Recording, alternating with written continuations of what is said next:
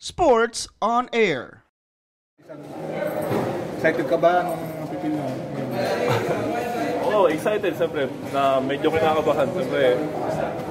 First time eh, so ayun, basta ready lang ako bukas pag practice namin.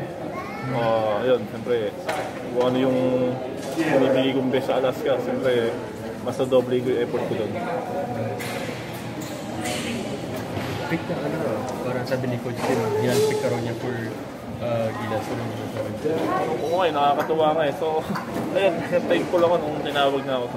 Wala akong masabi talagang hindi ko na-expect eh. Uh, nakatawagin niya ako tapos siya pa yung nag-choice sa akin. So, ayun, kailangan siguro sukulihan ko na lang yung yung tiwalang ano, binigay niya sa akin. So, ayun, talagang bibigay ko sa practice.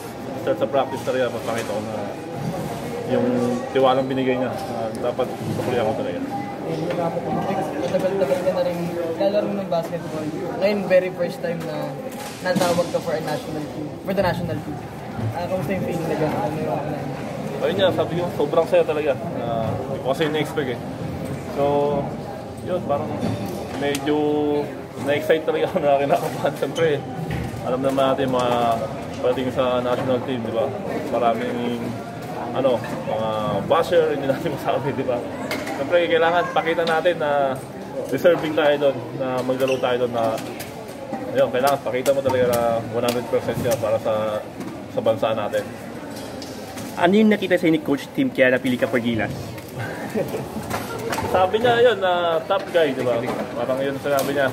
Tapos, yun, parang siyempre hindi naman ako nagpapa-intimidate eh, kahit ano sino kalaban ko. So, yun talaga yung sinabi niya sa akin, yun yung expect niya. Kasi mga uh, perimeter shooting sa ano. Thank you for watching. Click the subscribe button and ring the bell to be notified with our latest videos.